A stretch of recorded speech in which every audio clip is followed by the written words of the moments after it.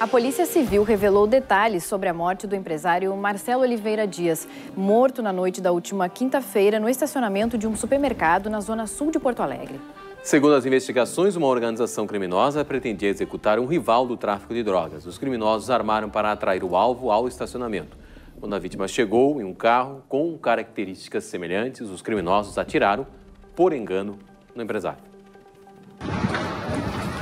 No sábado, a Brigada Militar conseguiu prender dois dos suspeitos de participação no crime, após ser chamada para uma ocorrência de confronto entre grupos rivais no Beco do Adelar, zona sul da capital.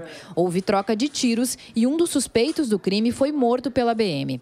Outro homem, que supostamente atirou contra o empresário, está foragido. Uma questão organizada por um grupo criminoso que procurava é, com a morte de um traficante, que acabou não ocorrendo, é, de certa forma enfraquecer é, aquele local que ontem, em princípio, eles tomaram, tentaram tomar e que muito bem a Brigada Militar, através de seus soldados e é, sargentos e toda a equipe, é, foi feliz em é, justamente prendê-los em flagrante. Esses indivíduos que agiram dessa forma, eles vivem numa rivalidade uh, entre essas, uh, esses, essas regiões, que é o Beco do Adelar e o, a Vila dos Sargentos. Então há uma rixa muito grande entre eles em razão do tráfico de, de drogas.